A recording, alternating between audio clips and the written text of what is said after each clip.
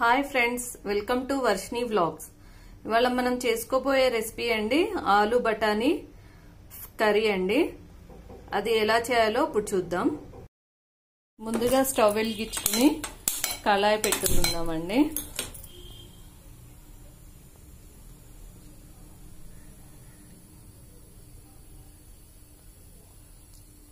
కొంచెం పాన్ వేడయ్యాక ఆయిల్ వేసుకుందాం.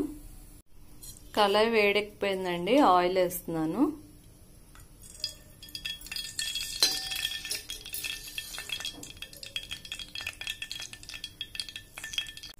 ఆయిల్ వేడైంది కదండి. ఇందులో ఇప్పుడు తాలింపు దినుసులు వేస్తున్నాను. ఆవాలు జీలకర్ర సాయమినప్పప్పు అండి.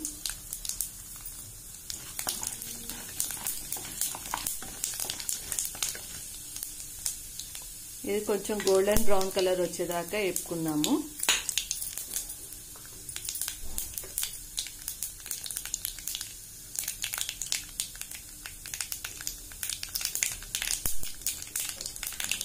ఇప్పుడు ఇందులో ఉల్లిపాయలు పచ్చిమిర్చి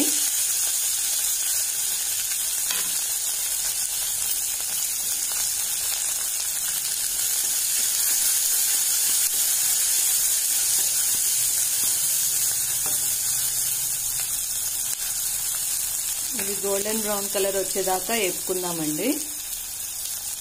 ఇప్పుడు మూత తీసుకుందామండి. అల్మాయిల్ పై పేస్ట్ వేసుకుందాము ఒక టీ స్పూన్.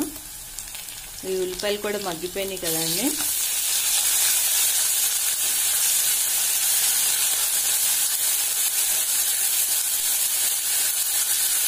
అల్లం వెల్లిపాయ పచ్చివాసన పోయేదాకా వేసుకుందామండి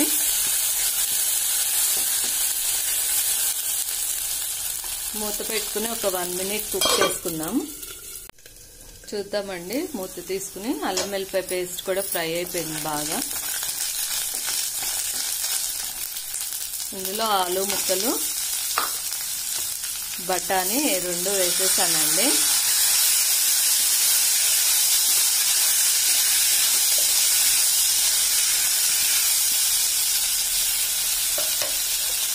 మూత పెట్టుకుందామండి ఒక వన్ మినిట్. ఇప్పుడు మూత తీసుకుని సిమ్లో పెట్టుకుందామండి స్టవ్ని. సరిపడంత సాల్ట్ పసుపు.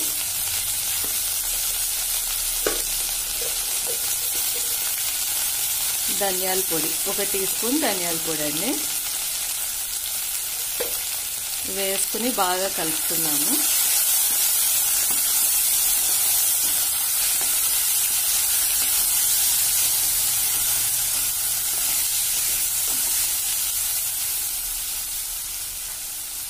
కలుపుకున్నాక మూత పెట్టుకుని కాసేపు మగ్గించుకుందామండి.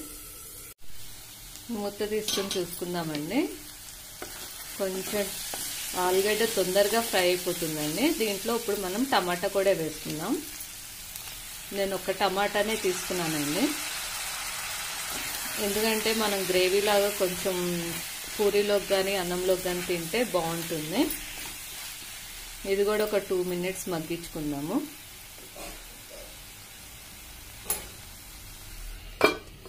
మూత పెట్టుకుని మగ్గించుకుందాము ఒక టూ మినిట్స్. చూద్దామండి మగ్గిందో లేదో. మగ్గిపోయిందండి. కొంచెం కారం వేసేసుకుందాము. ఒక టీ స్పూన్ ఒక one and half teaspoon కారం వేస్తున్నాను. మీ ఇష్టం అండి. మీకు కారము ఎక్కువ తినాలనుకుంటే కారం కొంచెం ఎక్కువైనా వేసుకోవచ్చు. నేను ఆల్రెడీ ఇందులో పచ్చిమిరపకాయలు కూడా వేసాను. కొంచెం వాటర్ పోసుకుందాం ఒక గ్లాస్ వాటర్.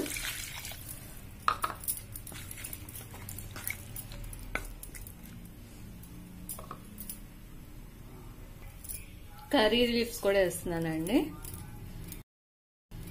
ఇది ఒక ఫైవ్ మినిట్స్ సిమ్కి హై మీడియం ఫ్లేమ్లో మగ్గించుకుందామండి.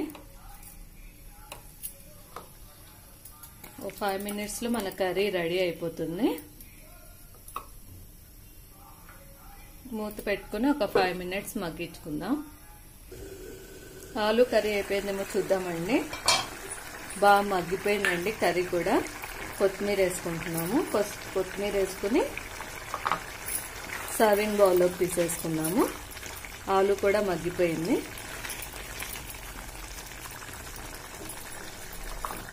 సర్వింగ్ బౌల్లోకి తీసేసుకుంటున్నానండి ఆలుని.